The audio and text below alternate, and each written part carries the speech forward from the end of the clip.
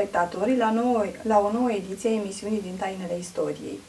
Astăzi avem un, un invitat special, pentru că este o uh, emisiune specială, zic e o emisiune plină de spiritualitate și anume îl avem invitat pe domnul uh, profesor și părinte uh, Ștefan Zara de la Episcopia Râmnicului și anume uh, domnul inspector cultural la Arhiepiscopia Râmnicului. Uh, bine ați venit, părinte, la emisiunea noastră. Bine v-am găsit, mulțumesc pentru invitație, Doamne ajută! Doamne ajută! Înainte de a începe, pentru că avem multe taine, multe taine de deslușit, zic eu, de dezlegat în această emisiune, uh, aș vrea să fac câteva observații și aș vrea să amintesc că suntem în uh, preajma celei mai mari sărbători și cea mai veche sărbătoare a creștinilor și anume sărbătoarea care a adus oamenilor speranță, speranța mântuirii, sărbătoarea care a adus oamenii, oamenilor uh, viața veșnică prin uh, sacrificiul uh, lui Isus Hristos. De asemenea, aș vrea să fac observații în ceea ce privește istoria, religia și cultura, pentru că, deși de multe ori le vedem ca materii, ca discipline distincte, eu pot să zic că sunt de nedespărțit. De ce să spun că sunt nedespărțit? Pentru că religia sau credința religioasă este relația directă și cultivată cu Dumnezeu. Uh, creatorul lumii, iar cultura este modul în care omul, persoane, popoare înțeleg să folosească lumea creată de Dumnezeu. Așadar, uh, acestea se află într-o comuniune perfectă, așadar, uh, atât credința, cultura, istoria nu sunt entități paralele, ci se întepătrund și se conțin reciproc. Și aș mai putea spune că dacă cultura oferă un sol fertil credinței, credința face Uh, să rodească perenitatea culturii. Uh, de câte ori vorbesc cu copiii, cu elevii mei la școală, vorbesc despre istorie, uh, le povestesc despre cele două ere. Era înainte de Hristos și era după Isus Hristos. Așadar, aș putea să spun că Mântuitorul a schimbat cursul istoriei. Până, pentru că și cronologia actuală începe de la Isus Hristos. Așa este. Mai întâi câteva remarci despre raportul acesta dintre cultură și, și religie. Uh, cultura și religia nu pot fi despărțite. Uh, vedem și termenul de cultură. Cultura este înrodită cu cultul. Iată, au aceeași rădăcină. Uh, ele provin din limba latină de la verbul colo colere, care înseamnă a cinsti. Așa cum prin cult îl cinstim pe Dumnezeu, prin cultură încercăm să facem același lucru. Cultura, de fapt, nu este decât tot o cinstire a lui Dumnezeu. De ce? Pentru că chiar dacă vorbim despre cultură umană ca o, un uh, artefacte, ca o realizare a omului, ea este făcută cu ajutorul lui Dumnezeu și dacă cultura nu-și are rădăcinile adânc înfipte în cult, în religie, atunci cu siguranță că nu este o adevărată cultură. Dar asta poate o să discutăm în altă emisiune.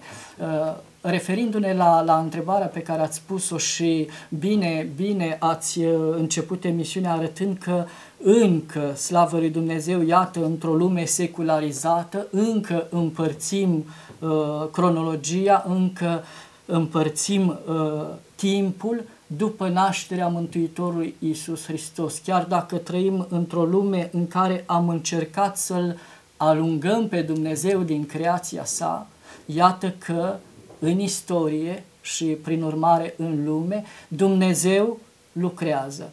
Vorbim despre uh, era dinainte de Hristos și era după Hristos. Și zic că nici nu se putea face o împărțire mai bună. Dacă ne uităm cum uh, în, în cursul filosofiei și al gândirii umanității, ce este timpul, ce este istoria în general, vom vedea că timpul este practic nu altceva decât o măsurare a mișcării. Încercând să vedem din punct de vedere biblic când a apărut timpul, cum a apărut timpul și ce este, ce este istoria, găsim răspunsul în primele pagini ale Sfintei Scripturi. Vedem că la Dumne- spune primul verset din Sfânta Scriptură, la început Dumnezeu a făcut cerul și pământul. În limba greacă acest la început, enarhe. Iată că la început, la începutul creației Dumnezeu a făcut timpul. Dacă timpul are un început, cu siguranță că timpul va avea și un sfârșit. Timpul nu este Dumnezeu, ci timpul este o creatură, o creație a lui Dumnezeu. A început, sigur, din prima, de la prima mișcare, de la începutul creației. Creația apare în timp, spunem, pentru că odată cu creația apare mișcare, apare lumea. Istoria, aș putea spune că apare puțin mai târziu. Nu odată cu crearea lumii, ci odată cu crearea omului sau poate o să vedem în, în ceea ce voi încerca să explic cu căderea omului în păcat. De ce spun lucrul acesta? Pentru că, iată, Dumnezeu a creat lumea, a apărut timpul, l-a creat pe Dumnezeu și l-a așezat unde? L-a așezat în rai. Omul era într-o comuniune perfectă cu Dumnezeu, era în, în comuniune în rai cu Dumnezeu și participa la veșnicia lui Dumnezeu. Participând la veșnicia lui Dumnezeu, Adam, spune Sfânta Scriptură, avea posibilitatea de a nu muri. Deci nu era supus acestei treceri temporale, acestei cronologii pe care o, o măsurăm acum. Că tot a spus de cronologie. Inițiatorul, cel puțin la istorie... Este un, un părinte al bisericii noastre, român, Dionisie, Dionisie cel Smerit, Dionisie Exigus, este cel care a calculat era creștină și iată... provine din zona Dobrogea. Din, din Sciția Minor, din, din Dobrogea de astăzi și iată că din secolul IV, când a trăit acest părinte și pentru noi ar trebui să fie o mândrie ca român, iată, un român este cel care a calculat era creștină și până în zilele noastre, iată, de câteva mii de ani încă mergem după această măsurătoare, după aceste calcule făcute de Dionisie Exigus, da. Dionisie cel Zmerit, Dionisie cel Mic. Uh, și uh, raportându-se și el la nașterea Mântuitorului Iisus Hristos. Uh, într-adevăr, cercetările de astăzi, cercetările teologice, au demonstrat că Dionisie cel, uh, cel zmerit, cel mic, a greșit puțin calculul nașterii Mântuitorului Iisus Hristos undeva între 4 și 6 ani. De fapt, noi astăzi nu suntem în 2019, chiar dacă convențional suntem și am rămas în 2019, suntem undeva în, uh, cu 4 ani mai, mai departe, 2023-2025. A fost o eroare de calcul. A fost, a fost o eroare pentru că uh, atunci când a calculat Dionisie cel Mic, a calculat cu ceea ce a avut la îndemână, cu istoriografia din vremea aceea, uh, bazându-se pe, uh, pe cronografiile existente și uh, pe domniile de atunci. În ce secol ziceați? Secolul 4, Secolul 4. la 300 și ceva. Uh, dacă tot suntem la cronologie, putem aminti și cele două uh, calendare, calendarul pe stil vechi și pe Calendarul stil iulian și calendarul gregorian. Sigur că da, vedeți că uh, și astăzi unii dintre, dintre credincioși nu înțeleg foarte bine calendarul, de ce suntem cu Paștele pe vechi, dar cu celelalte date suntem uh, după calendarul gregorian, calendarul iulian. Uh, atunci când, uh, când s-a uh, s-a calculat calendarul acesta, calendarul vechi, cel iulian, uh, s-a calculat că anul având 365 de zile, și așa s-a mers cu 365 de zile. S-a observat că cele 6 ore, nu știu câte minute și secunde, în timp, au dat la o întârziere cu câteva... cu, cu câteva... 11 zile sau la o anumită perioadă era o întârziere de... S-a ajuns la o întârziere, s-a observat asta după echinocțiu. S-a observat după echinocțiu, nu mai corespundea. Uh, deci cele șase ore necalculate în fiecare an au ajuns să, să, la câteva zile în timp, da, în câțiva da. ani. Uh, diferă calendarul iulian de calendarul gregorian astăzi cu 13, 13, 13 zile. zile. 1 aprilie 1919 a devenit 14, 14 aprilie. aprilie. Da. Uh, ceea ce a făcut Papa Grigorie, nu Papa Grigorie, el doar a comandat astronomilor din vremea lui să, să recalculeze, a văzut uh, greșeala care a fost uh, făcută de astronomii din vremea aceea și a poruncit să uh, sărim peste cele 13 zile da, și să ajungem la... Până la urmă, calendarul este o convenție calendarul este o convenție. Orică suntem, dacă hotărâm că mâine suntem în 1 aprilie, o luăm cu calculul de mâine 1 aprilie. Nu mă, nu mă uh, dezechilibrează în credință cu nimic. Da, și aș să, că totuși sunt popoare care au rămas pe calendar Au rămas vechi, multe rușii, biserici, cred că avem sunt... cinci biserici care au rămas pe, pe stilul vechi și ca să nu ajungem și cu Paștele, așa cum avem Crăciunul pe stil nou, Crăciunul pe stil vechi Da. și toate celelalte sărbători le avem pe stil nou și pe stil vechi, o să vedem că Paștele săr- și și celelalte sărbători care variază în funcție de data Paștelor este una singură în toată Ortodoxia. De ce? Pentru că noi cei care am trecut pe calendarul îndreptat, pe calendarul gregorian, am rămas cu Pascalia pe vechi. De ce am făcut lucrul acesta? Ca să nu existe în Ortodoxie de două ori sărbătoarea învierii. Este o sărbătoare mult prea importantă pentru Cea a mai o serba, importantă din- pentru a o serba de două ori. Revenind la ceea ce vorbeam despre uh, crearea lumii și, și temporalitate, uh, spuneam că istoria apare odată cu căderea omului în păcat. De ce spun lucrul acesta? Pentru că până la căderea omului în păcat, Adam, trăind în rai, participa direct la veșnicia lui Dumnezeu. Nu exista, chiar dacă vedem în Sfânta Scriptură, a fost seara, a fost dimineață, ziua întâi, acestea sunt niște, niște simboluri pe care le-a folosit Moise atunci când a scris Geneza, nu trebuie să le înțelegem ad literam, era veșnicia lui Dumnezeu din, din care se împărtășea Adam. Odată cu căderea lui în păcat, izgonirea lui din rai, a fost, dacă vreți, metaforic vorbind, o izgonire în istoricitate. De atunci a apărut istoria și putem vorbi de istorie. Pot să spun așa, cea din tâi disciplină, da?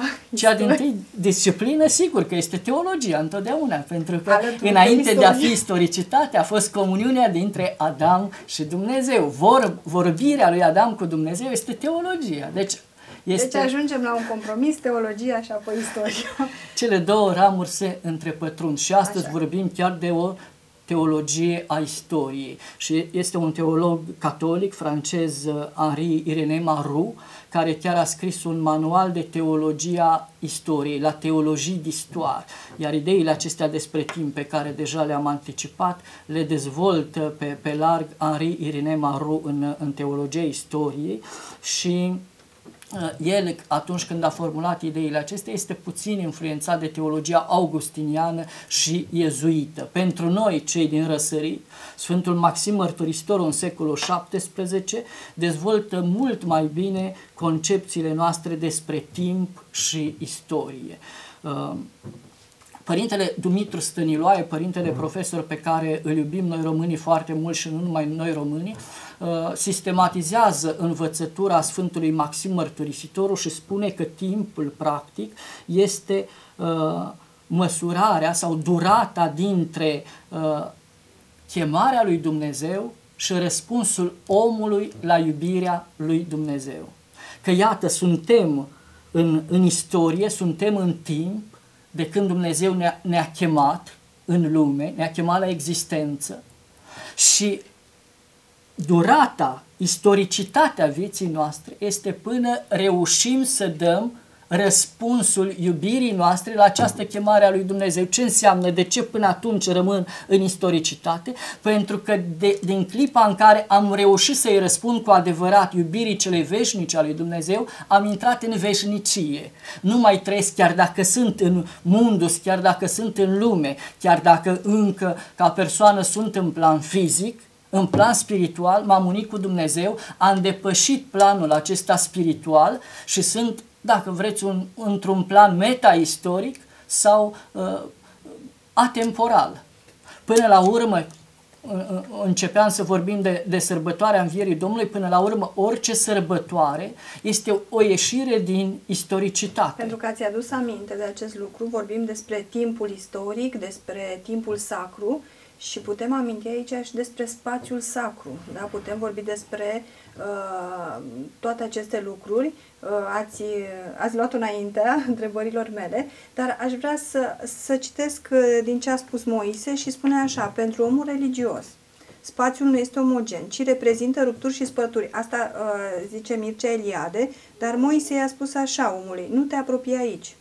Îi spune Domnul lui Moise, ci scoateți încălțămintea din picioarele tale, că locul pe care calci este pământ sfânt. Când, Vorbim când Moise de a încercat să se apropie de rugul cel ca, a văzut un rug care ardea, dar nu se mistuia rugul acela. Și Moise a încercat să se apropie de el. Și Dumnezeu a zis, nu te apropia, te descalți și așa te apropii. Rugul acela care ardea, dar nu se mistuia, o simbolizează pe Maica Domnului, spun Sfinții Părinți, care ținea divinitatea, ținea Dumnezeirea în pântece, cu toate că nu și-a depășit condiția ei de umanitate. Iată că Moise a văzut lucrul acesta și de aici pornește orice spațiu sacru, pentru că orice templu, orice biserică o simbolizează pe Maica Domnului și pe Mântuitorul Isus Hristos. Noi, cei care formăm biserica, suntem templul viu al Mântuitorului Isus Hristos, iar capul este Mântuitorul Isus Hristos. În niciun spațiu sacru nu intrăm oricum, de aceea îi și Depășim cere. pragul, pragul care în multe, S- Sigur că de-a da, lungul vedeți, istoriei este interpretat ca... sunt, uh, sunt foarte multe ta- tratate care uh, vorbesc exhaustiv despre pragul de trecere dintre spațiul uh, profan, Profan. și spațiul, spațiul sacru. Atunci când intri în biserică, chiar dacă suntem aceeași persoană, intri așa cum trebuie, intri în urma unei pregătiri date de Dumnezeu prin aceea, descalță-te, adică lași totul, tot ceea ce este lumesc, lași înainte de a intra într-un spațiu sacru și într-un timp sacru. Iată, acum ne pregătim și to- toată perioada postului mare este un timp sacru, este un timp în care încercăm, chiar dacă trăim în timpul acesta fizic, timpul cronologic, încercăm să-l depășim pentru a ne pregăti să ajungem undeva, într-o, într-un loc unde nu mai este nici, uh, nici spațiu, nu mai este nici timp. Sau pot spune un alt fel de spațiu și un alt fel Iar de timp. timpul sacru este ciclic, ne putem întoarce de fiecare dată la el odată cu evenimentele Uh, diferite. Se vorbește, se vorbește despre un timp ciclic și un timp linear în ceea ce, în ceea ce, vorbești, în ceea ce se vorbește despre spațiul sacru. Mircea Eliade accentuează foarte mult uh, timpul acesta circular în ceea ce privește timpul sacru, uh, bazându-se în special pe mitologia greacă și filosofiile hinduse, filosofiile uh, de origine indiană. Da, am văzut că discu- vorbește foarte mult de aceste În filozofii. Sfânta, în Sfânta Scriptură, dacă, dacă suntem atenți, nu putem vorbi de un spațiu circular, de, nici de un, uh, un timp circular, ci de un timp linear. Vorbim de facerea lumii, facerea lumii care îl conduce pe om către întruparea Mântuitorului Iisus Hristos în linie directă. Tot, tot Vechiul Testament este practic uh, așteptarea plinirii vremii, așteptarea venirii Mântuitorului. Întreg Vechiul Testament este o pregătire pentru venirea Mântuitorului în linie dreaptă, iar de la venirea Mântuitorului către învierea sa tot o linie dreaptă, iar acum așteptăm a doua venire a Mântuitorului. Vorbim de o linie dreaptă. În celelalte religii și în, în mitologia greacă vorbim de, de timpul acesta circular, și mai mult decât atât, se vorbește chiar de un timp istoric și astăzi în istorie sunt unii istoriografi care vorbesc de nu de un timp circular, ci de un timp în spirală. Ni se pare că acel eveniment a mai fost trăit și chiar Mulți psihologic. asta spun, istoria se repetă, istoria, Istoria se repetă și spun unii că totuși nu, nu trăim același eveniment, dar când ajungem în acea spirală, în punctul care a mai fost trăit, sigur, e un punct superior, dar ți se pare că e același moment, aceeași trăire. Religios nu suntem într-un spațiu, într-un timp circular. Chiar dacă avem calendarul foarte bine stabilit, circular, retrăim ceea ce am trăit anul trecut, încerc să retrăiesc astăzi și circularitatea aceasta a timpului încercăm să o transformăm tot într-o spirală, pentru că drumul omului către Dumnezeu este un drum epectatic, un drum care te înalță. Înălțându-te într-un cerc, te înalți în spirală. Însă, Sfânta Scriptură vorbește întotdeauna de un timp liniar. Că Timpul liniar se practic în viața omului se împletește cu timpul circular. Timpul liniar este timpul de așteptare, timpul psihologic, aș putea spune al meu. Aștept ca uh, să vină o anumită sărbătoare, aștept să retrăiesc sărbătoarea aceea. tot ați adus aminte despre retrăirea sărbătorilor.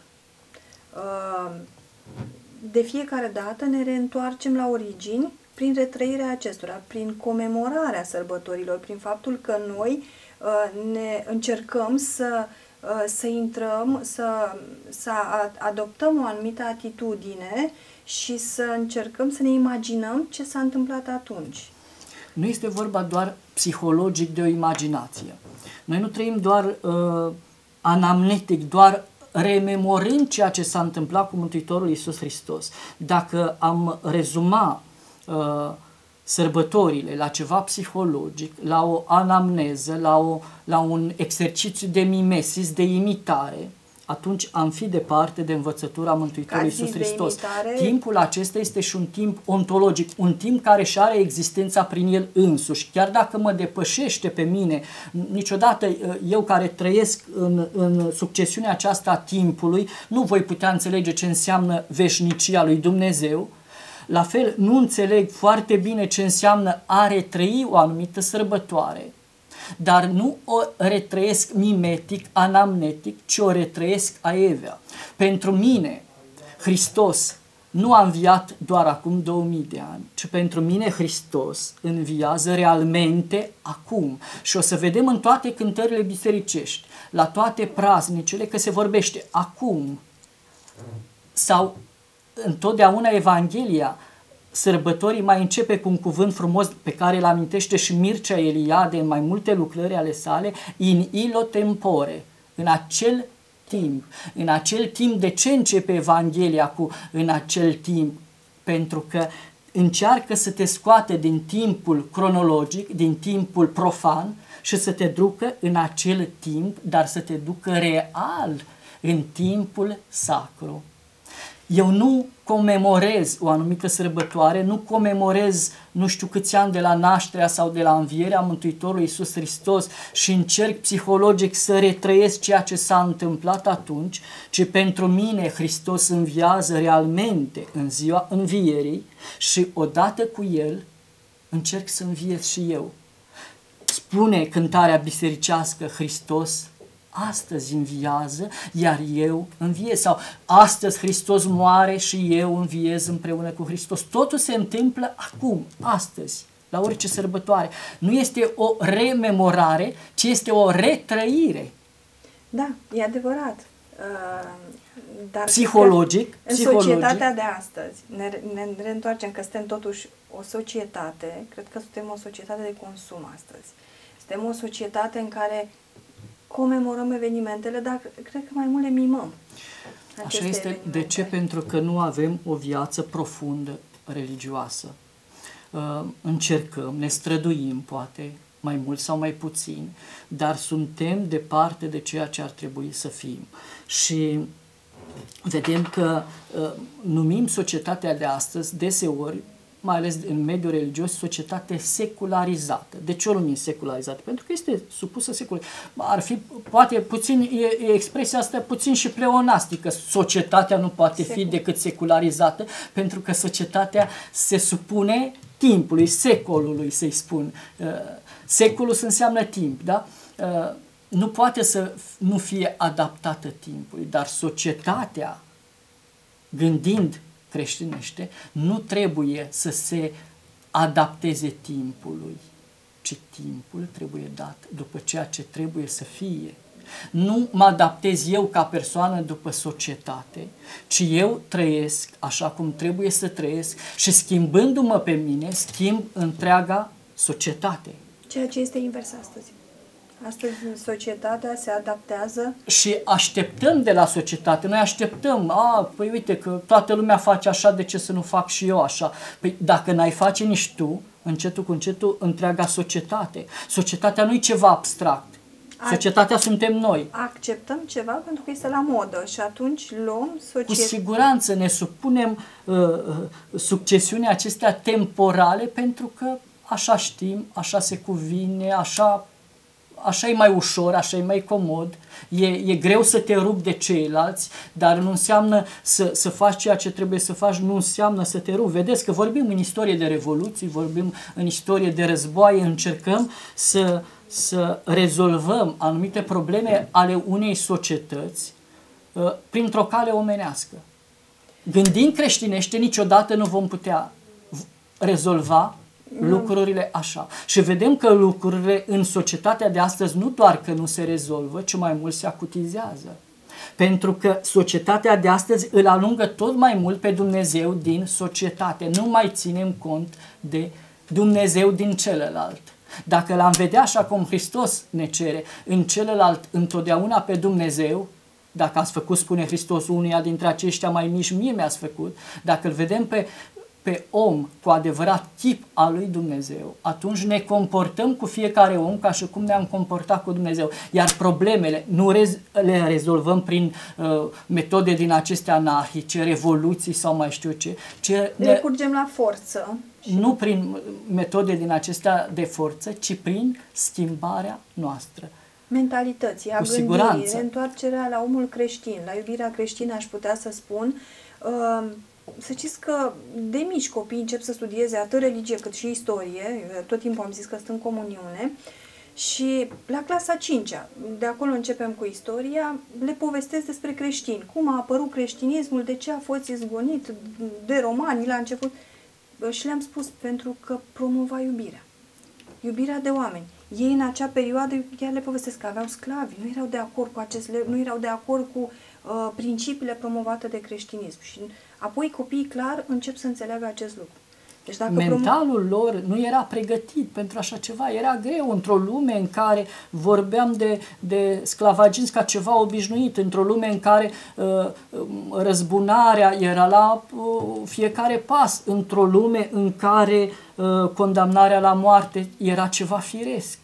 Să vii tu să spui întoarce obrazul.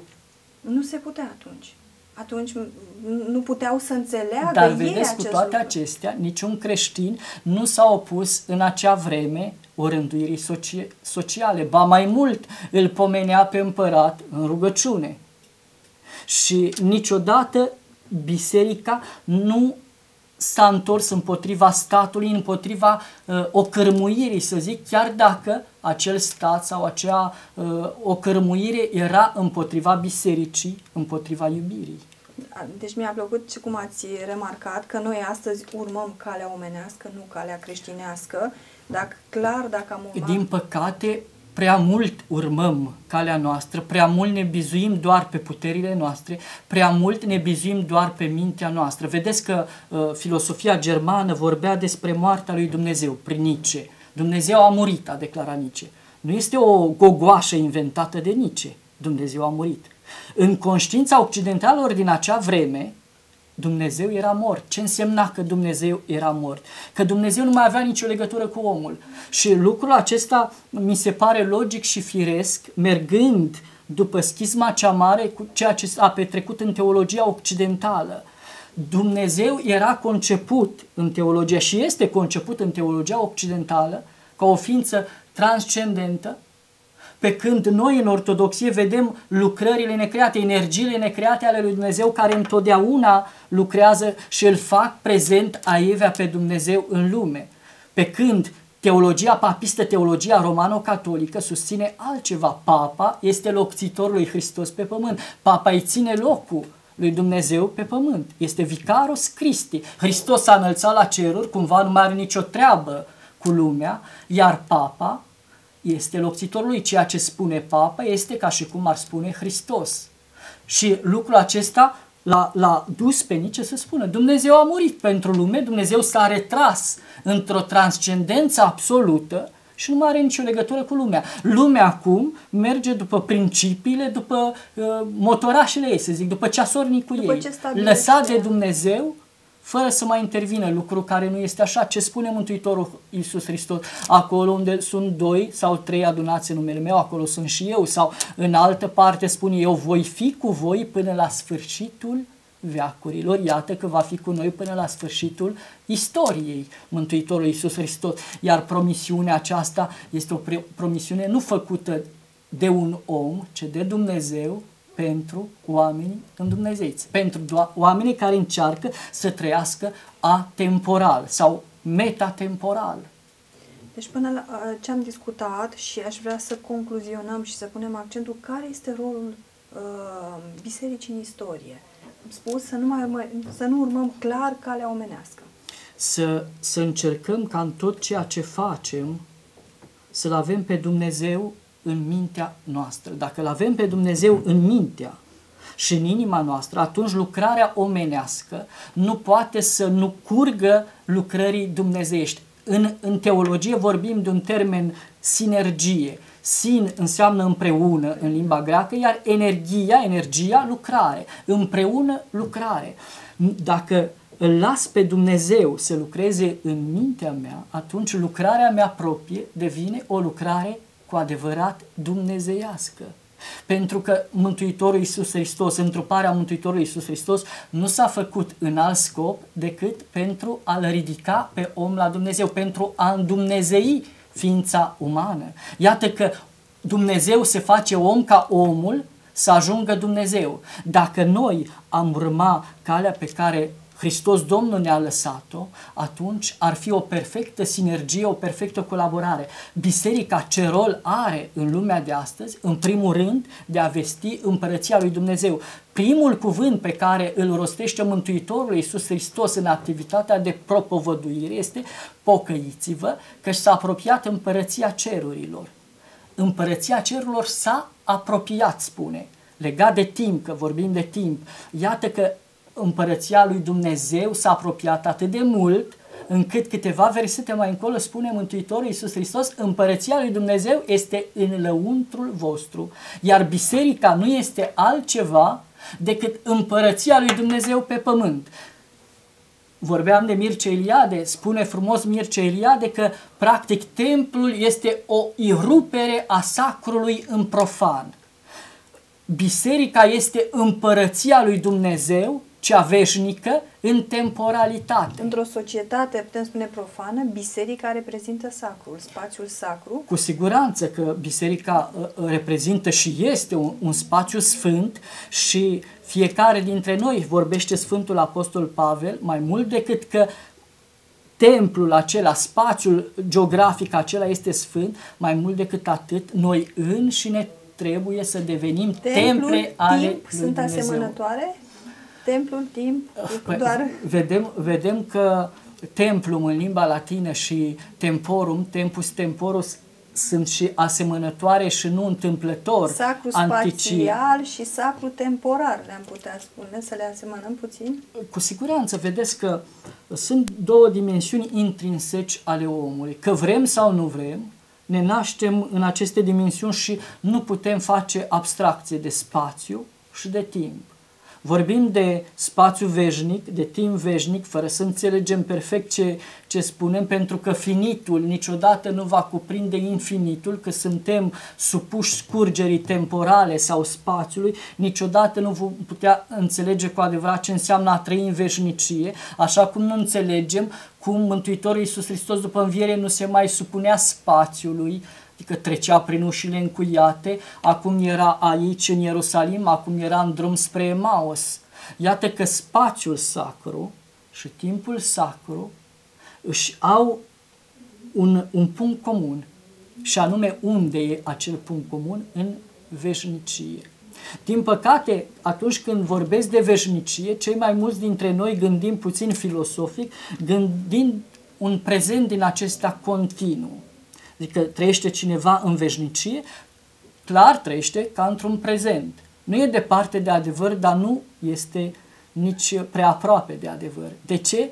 Pentru că veșnicia lui Dumnezeu nu este o încremenire în prezent. Veșnicia nu înseamnă doar un, uh, un loc și un, un timp pe care îl ai și nu mergi mai departe. Spune Mântuitorul Iisus Hristos, în casa Tatălui meu în împărăția lui Dumnezeu, spațiul cel mai sfânt, să spun, sunt multe lăcașuri.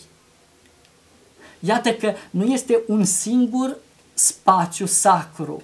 În, într-un spațiu sacru vorbim de mai multe locuri. Sacralitatea se dă omului, sacralitatea se împărtășește omului și orice om trebuie și poate să devină templu al lui Dumnezeu, templu viu al lui Dumnezeu, cum? Nu devenind el însuși, că niciodată omul nu va deveni izvor al sfințeniei sau sfânt prin el însuși, ci prin participare. Participă la sfințenie. Vorbim de înviere. Devenim și noi vii prin învierea Mântuitorului Iisus Hristos. Nu înviem prin puterea noastră, ci înviem prin învierea lui Hristos. Ne facem părtași învierii Mântuitorului Iisus Hristos. La fel și uh, spațial vorbim, devenim și noi templu al lui Dumnezeu, făcându-ne părtași lucrării dumnezeiești. Și biserica, biserica este vorbind de, de biserică ca lăcaș de cult, este prin participare un loc sfânt prin participare la ce? La sfințenia lui Dumnezeu. Uh, vorbim de secolul uh, actual, de lumea noastră contemporană. Dacă ne amintim de secolul 20, a fost uh, un secol îndepărtat de religie, un secol zbuciumat, un secol cu războaie, cu revoluție, așa cum a spus, un secol în care oamenii au crezut că pot rezolva totul prin știință și nu prin religie. Uh, dar aș putea să spun că secolul actual este un, sau cel puțin așa spun istoricii, că este o reîntoarcere la, la, uh, la religie, însă cred că uneori este exagerată religia în anumite părți. Da, vedem că în cursul istoriei au fost societăți sau cel puțin grupuri sociale mai apropiate sau mai îndepărtate de anumite religii. Nu mă refer doar la, la creștinism. Uh, atunci când o societate cade moral foarte mult, este o curbă foarte mare pe care o face, apoi cu siguranță că urmează o creștere. Lucrul acesta este dovedit încă din antichitate și vedem chiar înainte de venirea Mântuitorului Iisus Hristos. Imperiul Roman era foarte decăzut moral. Lumea de aceea vorbim uh, în Sfânta Scriptură despre plinirea vremii. Mântuitorul n-a venit întâmplător în acea vreme, ci a venit atunci când lumea s-a plinit, când lumea nu mai putea de dorul de a, de a veni Mântuitorul Iisus Hristos. Trebuia făcut ceva în lume. Lumea l-aștepta. Era lipsa clar de moralitate. Era lumea era atât de decăzută încât trebuia să se întâmple ceva ca acea curbă să revină spre normal. Și acum, într-adevăr, vedem că lumea a căzut foarte mult de, de câteva zeci de ani. Lumea este într-o cădere morală foarte mare, după care cu siguranță că urmează o apropiere, o, o creștere, o apropiere mai mare de Dumnezeu și nădăjduim că ne apropiem de acele vremuri și vedem că într-adevăr, sigur, chiar dacă vorbim despre lucruri, să știți, care sunt și puțin manipulate. Se, se vorbește prea mult despre anumite religii violente, vorbim Ajungem despre islam. la fundamentalism uh, în aceste, adică deja din, exagerăm. Din păcate, din păcate și presa de astăzi accentuează prea mult lucrurile, lucrurile acestea. Se dorește de către cineva, nu știm de către cine sau ce, nu, nu e uh, momentul să discutăm acum, de a arăta lucrurile cumva exagerat, cumva prea acutizat. Uh, nici uh, islamice, să știți că nu sunt atât de războinici, atât de violenți pe cât uh, văd astăzi eu la televizor. Catedrala Notre-Dame nădăjduiesc, n-am de unde să știu uh, dar cu siguranță că nu este... A fost un incident acolo, da. Unii speculează și spun cu siguranță că i pus uh, focul acolo de musulman, nu știu ce. Uh, întotdeauna au fost și accidente din acestea în istorie, dar accidentul acesta, eu îl pun între ghilimele, niciodată în istorie nu există accidente. Toate se întâmplă cu rânduiala lui Dumnezeu și chiar de ce s-a întâmplat în sărbătorilor. acum și mai, mai mult decât în preajma sărbătorilor, ei tocmai erau la începutul săptămânii patimilor. Franța, care este un stat declarat ateu, un stat care s-a separat total de biserică. În, în Franța uh, ți-e teamă să-ți faci acum uh, semnul Sfintei Cruci pe, pe stradă. Nu am știut că s-a separat. Uh, Total. De la Revoluția franceză până în zilele noastre, separația a, a continuat atât de mult încât acum uh, e, pentru creștini e tare greu să mai trăiești în acel mediu. Cu toate acestea, pentru noi a fost o mare surpriză ceea ce s-a întâmplat la Catedrala Notre-Dame. Iată, creștinii, chiar în Paris, au avut curaj să, să se roage, să cânte și chiar au fost prezenți, au, sim, au simțit o în durere genunchi adâncă. În și vedeam acolo cu lacrimi în ochi. Iată că nici Franța, cât de uh, statul poate cel mai secularizat, nu este atât de secularizat pe cât ni se prezintă. Omul, în intimitatea lui, este apropiat de Dumnezeu. Și ne dăjduim ca cu fiecare clip a vieții noastre să ne apropiem tot mai mult. Scopul istoriei nu este altul decât a ne conduce către împărăția lui Dumnezeu. Și mm, Tacitus parcă spunea, definea istoria ca fiind magistra vite. Este, este da. învățătorul, învățătoarea vieții, dar aș spune eu a vieții cu literă mare, pentru că istoria nu face altceva decât să te conducă către viața adevărată. Istoria care lucrează numai cu cronologie, numai cu evenimente, te scoate dincolo de eveniment, te scoate dincolo de cronos. Tot timpul, uh, sau în general, lucrez cu elevi și uh, le e teamă de istorie pentru că ei nu înțeleg decât ani Ehm, date, tot timpul mă întreabă, dar nu vrem să învățăm date. Dar istoria nu reprezintă ne, numai aceste semne convenționale, așa cum ne-am, ne-am, ne-am, ne-am obișnuit să înțelegem prin istorie doar cronografia aceasta, măsurarea evenimentelor sau arătarea unor evenimente. Nu, este, trebuie urmărit un fenomen, o mentalitate. Dezvoltă spiritul de toleranță, în primul rând, istoria, uh, comuniune, uh, acesta lucru în echipă, lucru al oamenilor, spirit, iubirea față de tot. De aceea aș numit tot Tacitus magistra, când, că ne învață. Când am doi elevi care se ceartă și chiar dacă au media 10 la istorie, zic, n-ai înțeles nimic din istorie. Poți să fii tu cel mai bun la istorie, dar până la urmă valoarea nu ți-ai dezvoltat-o, nu arăți că ești înțelegător, nu arăți că ești tolerant, că poți argumenta, că poți să rezolvi problemele fără a recurge la violență sau alte lucruri. Istoria, eu cred că asta își propune. Uh, istoria, cred că și în zilele noastre, poate mai mult decât oricând, încearcă să recupereze trecutul și să-l fructifice în prezent și asta trebuie Cred să că asta facem. e noastră, să fructificăm. Luăm experiența înaintașilor noștri, dar mai mult decât experiența lor, luăm valorile înaintașilor noștri pe care le actualizăm în prezent și le ducem mai departe, le îmbogățim. Ar fi uh, Uh, culmea să doar să mă folosesc de experiența și celorlalți să nu și să nu, să nu contribui la îmbogățirea acelor uh, valori. Uh, poate mulți din zilele noastre nu conștientizează uh, importanța valorilor moștenite de la părinții noștri.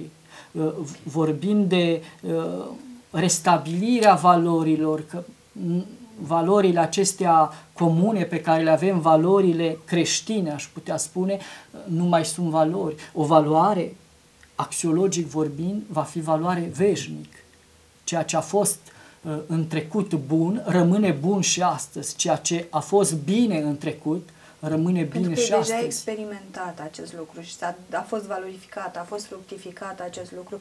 Uh, revenim la Marea Sărbătoare. Învierea Mântuitorului Iisus Hristos este punctul culminant al întregii activități a Mântuitorului Iisus Hristos. Sfântul Apostol Pavel spune că dacă Hristos n-a înviat, zadarnică este credința noastră, zadarnică și propovăduirea noastră. Iată că totul este zadarnic dacă Hristos nu a înviat punctul cel mai important și sărbătoarea cea mai importantă a bisericii noastre este învierea Mântuitorului Iisus Hristos, adică renunțarea la temporalitate, renunțarea la istoricitate. Istoria te conduce către împărăția lui Dumnezeu, istoria te conduce către veșnicie, iar în veșnicie nu mai vorbim de istorie, pentru că nu mai vorbim de trecut, nu mai vorbim de, de, de viitor. viitor. Totul este și totul se cumulează în învierea Mântuitorului Iisus Hristos. Învierea Mântuitorului Iisus Hristos ne face posibilă trăirea noastră în împărăția lui Dumnezeu. Și iată că trăim împărăția lui Dumnezeu ca prezentă din lumea aceasta. Dacă cineva nu trăiește încă din lumea aceasta ca în împărăția lui Dumnezeu, nu știu dacă dincolo va, va dăinui în împărăția lui Dumnezeu. Este un proverb din popor, așa cum îți așterni, așa dormi. Nu e departe de, de realitate Toate pentru proverbele că au, au rădăcini, o bază, da. au, au rădăcini în istorie.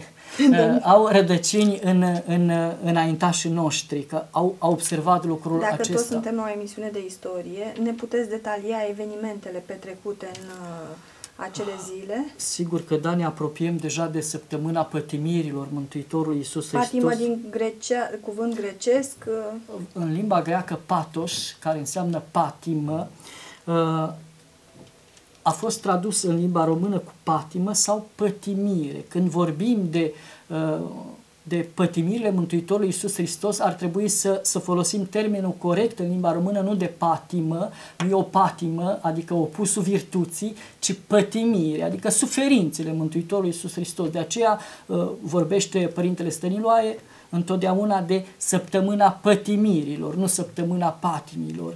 Sigur că orice, orice pătimire are un patos, are o suferință.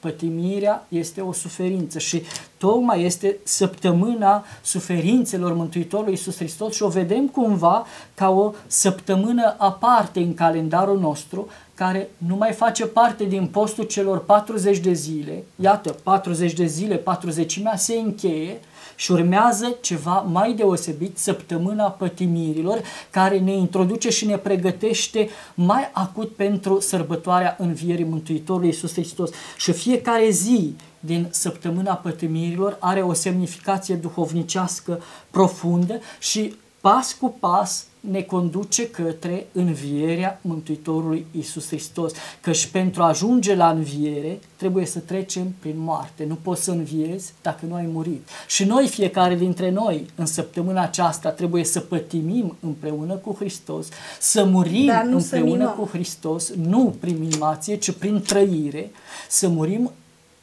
împreună cu Hristos cui? Să murim păcatului. Murind păcatului, murim cu Hristos și înviem într-o Hristos.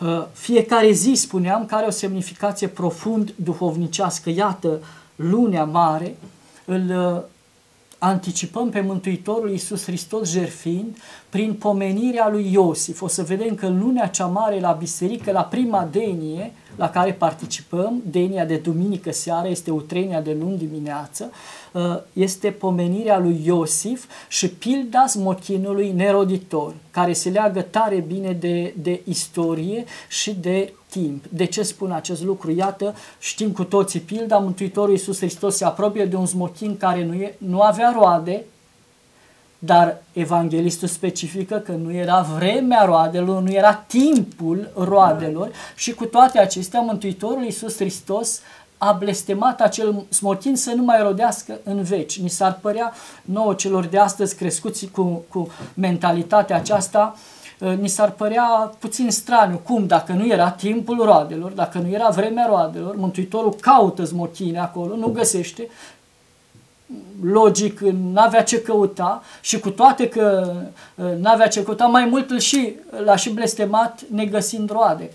Uh, Mântuitorul Iisus Hristos ne arată acolo ce este timpul, ne arată ce este istoria. În istorie nu trebuie să căutăm un anumit moment pentru a rodi. Nu trebuie să avem doar o anumită zi, un anumit moment, un anumit anotimp în care noi oamenii să, să, să rodim, să rodim într-o cele bune, ci întotdeauna. De aceea se apropie și în prima zi a pătimirilor ne pun, ne pun Sfinții Părinți această pildă, că întotdeauna trebuie să fim găsiți în istorie într-o cele bune. Adică să ne găsească Mântuitorul Iisus Hristos în rodire, rodind într-o bine. Așa depășim cronosul, depășim evenimentul și ajungem în timpul sacru, în aveau greci un alt termen, făceau diferența între Cronos și Kairos sau Keros după, după noua citire. Timpul Cronos uh, reprezentat de, de ei prin uh, acea zeitate care își mânca proprii fii, timpul acesta fizic, istoric, care ne mănâncă evenimențial, nu mai avem timp de nimic și de nimeni, nu mai avem timp nici de chiar, Chiar de noi discutam mai înșine. devreme că nu avem... Cu toate acestea, noi trebuie să fim găsiți de Mântuitorul Iisus Hristos în rodire, adică să fim găsiți într-un alt timp, în Kairos, să fim găsiți în timpul rodirii. Și pentru că a spus de timp, deja mi se fac semne că a trecut timpul emisiunii noastre. Nici nu știu când a trecut atât de repede. Efectiv, eram convinsă că mai avem. mult Chiar de dacă nu mai discuție. avem timp să încercăm să reținem în urma emisiunii de astăzi că învierea Mântuitorului Iisus Hristos nu trebuie să rămână pentru noi un eveniment petrecut undeva în istorie, un eveniment trecut pe care încercăm să remo- rememorăm, ci să fie un eveniment personal pe care îl trăim nu doar la sărbătoarea învierii, ci să-l trăim în fiecare clipă, să încercăm să înviem noi înșine ca persoane și să ne găsească Mântuitorul Iisus Hristos în timpul rodirii atunci când va veni și să nu ne găsească așa cum ne-a găsit sfârșitul emisiunii de astăzi, nepregătiți. Vă mulțumesc și promiteți că mai veniți la o altă emisiune. Cu mare drag, oricând. Uh, pentru că sunt multe, multe taine de dezlegat, multe taine de spus și sunt convinsă că telespectatorii noștri de-abia așteaptă să vă vadă într-o nouă Vă emisiune. mulțumim pentru invitație.